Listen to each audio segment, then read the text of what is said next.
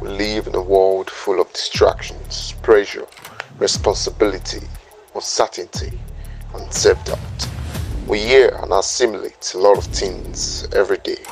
Our society, people we look up to and see every day, sometimes create standards in who we are. But sometimes we forget our true self, lack confidence, and feel inferior, which can lead to our destruction. How can you be real?